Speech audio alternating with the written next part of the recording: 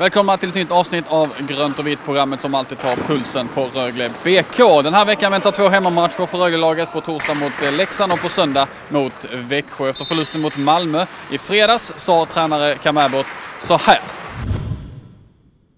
Eh, efter matchen mot Malmö Cam sa du att du var stolt över insatsen. Kan du berätta mer om eh, hur ni såg på matchen i Malmö? Uh, yeah, I mean, we watch every game obviously afterwards. Uh, I thought um, we did play the way we wanted to play with a lot of uh, energy. I thought we controlled the parts of the game. Um, we got to be more effective for sure, and uh, still got to tighten up a little bit defensively. I thought we gave up too much, but overall, pretty good effort and disappointing with the loss, but it's tight this time of year, so um, looking forward. Hur blir man mer effektiv eh, för att sätta, göra fler mål? Kan man jobba på det på träningarna på något sätt?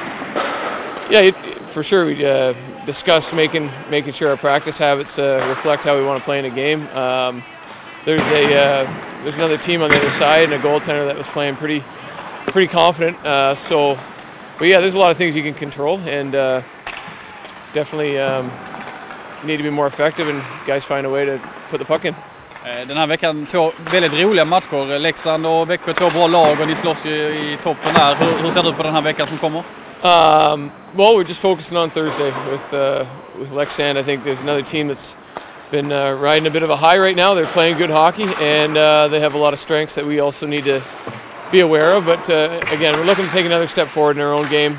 Um, we can go head to head with these guys, and uh, just got to be uh, committed to playing our style, and, and uh, guys ready to go for Thursday. So excited to get another one going.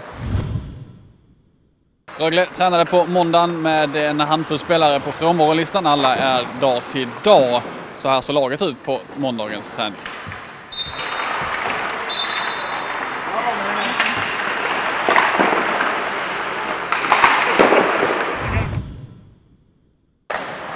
Det var allt från Grönt och Vitt den här gången. Vi ses igen senare i veckan. Framförallt på torsdag när Leksand kommer på besök här till Catena Arena.